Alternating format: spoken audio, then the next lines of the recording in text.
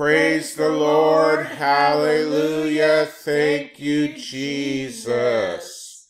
Minister Paula, my beautiful, extra beautiful today wife, Gail. Good morning. Well, windy morning here. Super windy. It blew open our shutters.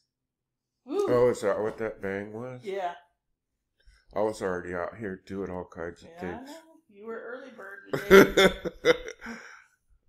it is super windy.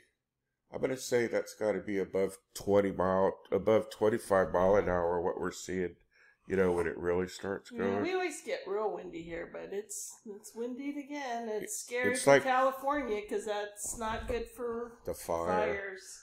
That's right. We give all praise and glory and honor to Jesus Christ. We don't want to fake it with you, Jesus. Could I open up a prayer this morning, saints? Yes. to the one who sits on the throne. Father God, we love you. We worship you. We praise you in the storm. We praise you in the wind. We know that you are in the wind. Yes. You're that still small voice that speaks to us. We love your holy word. We love how it says you will never leave us or forsake us and how we're justified and, and glorified through this holy, amazing born again experience, Lord, to, to enter into eternal life through what Jesus Christ did on the cross for us. We love you. We praise you. We are the fruit that Jesus Christ produced when he was planted into this ground for our sins and took that punishment. Lest anyone should say we ever deny the blood of Jesus, it's the very reason why I'm even alive today. Let my let my wife, my life, my marriage, this ministry forever be a testimony of your mercy and grace from the blood you shed on the cross of Calvary for us, Jesus. Don't let anybody ever try to take that witness from us, Jesus. We're still standing in you, God. We love you, God. I thank you for your presence. I just want to stay in your presence. I have so many things to ward, Lord God, and I see the sword coming, Lord, but just to be in your presence, to be in your presence. If your people could just feel your presence today and enter in your presence, we long for your presence, God. We need your presence, God. We thank you, Father, as we receive your presence. For anybody listening this within the sound of my voice who has not received Jesus Christ as your Savior, He is at the door. He's coming. All the things He warned about throughout the whole entire Bible are coming to pass quickly and suddenly. And it says when they say peace and safety, then sudden destruction comes. Give your life to Jesus Christ now. You know not what could happen today. Give your life to Jesus Christ while we still have this door of grace opened. Amen. Amen. So let me show you, whew, the Holy Spirit hit me strong. I needed that. So let me show you this breaking news that's popped out. Here's the date and time. 8.01 a.m. Pacific Standard Time. Cyber attack forces a shutdown of a top U.S. pipeline operator. So are they going to blame this on Russia? This is breaking. This is the source I found here. It's been shared 35,000 times and viewed 100 times. So it says a cyber attack forced the shutdown of one of the largest pipelines in the United States in what appeared to be a significant attempt. Oh, you know what I see here? It's going to be one of those seven states that I went and warned of. Watch. The pipeline carries refined gasoline and jet fuel up the East Coast from Texas to New York.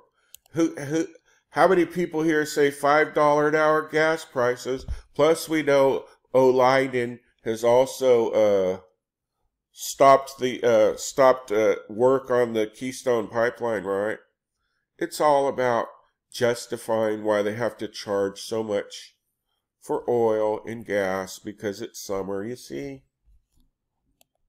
So uh, what's going to be interesting on this story is who they're going to blame for it. In a statement, the company said it learned on Friday that it was the victim of a cybersecurity attack and has provided no details. Such an attack can involve malware that shut down its operations or ransomware demanding payment to unlock computer files or systems. So we're going to watch this and oh, it mentions SolarWinds, intrusion, already mentioned Russia, so here we go.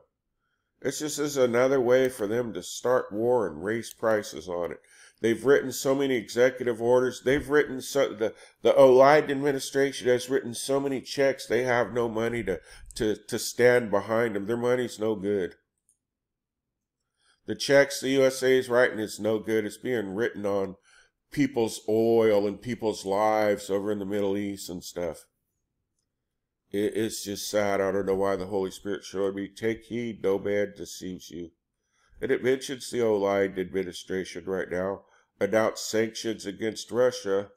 So you see what they're insinuating and implying here? Here's another thing. This is coming out of uh, Israel. Breaking news. It says new protest called after Jerusalem clash wound over 200. And then I want to show you this story down here too. At least 25 killed in Kabul after bomb explodes near a school. So Kabul is in Afghanistan. I believe it's the capital. Correct me if I'm wrong on that, if it's not the capital. But it's in Afghanistan. And remember what happened on 5-1 May Day Beltane? Biden began withdrawing troops from Afghanistan. While semi declaring war on Russia, why another war breaks out in China. And, and yesterday it was also announced China is building a new naval base there. A new, China's building a brand new naval base for defense and offense right there in that disputed area. And everybody knows what I'm talking about. So this, this article says right here, Israel braced for more, more protests Saturday after clashes at Jerusalem's flashpoint El Aqsa Mosque compound wounded more than 200 people, and as the U.S., EU, and regional powers urged calm after days of escalating violence. In the unrest following Muslim prayers Friday, Israeli riot police fired rubber bullets and stun grenades at Palestinians who hurled rocks, bottles, and fireworks. So uh, at officers at Islam's third holiest site. I was wondering where this was going down at because remember the was it Mount Hermon? Was that the one where the how many people died? Uh, Hebron? Is this a, a fall fallout for this or so this is saying that it's here that it happened. Al Aqsa Mosque it is the third holiest site in Sunni Islam and is also regarded as the holy site, holiest site in the world by Judaism. So, so to uh, in Judaism, it's the number one holy site, and in Islam, it's the third holiest site. Isn't that interesting? Are they serving a different God? And, and here's the thing: it's about bloodlines. Here, here's the thing about this.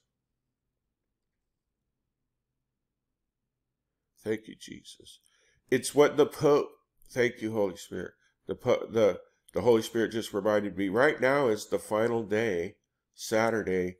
Look at the, the timing of all this, of the, the FP and Fauci. I don't know. what do, how do I say it? We're on YouTube, you know? Yeah. So the FP and the Fauci, you know what I mean, are, are ending their three day conference out of Rome. Mm-hmm. So, still standing, still watching. I want to show you our website. Here's the website, and uh, so we can now upload videos directly here as storage and discuss other things. That'll be in the video section. Uh, want to also remind people of our church tomorrow starts an hour early, 10 a.m. Pacific Standard Time. There'll be a link to it in the description box. Thank you.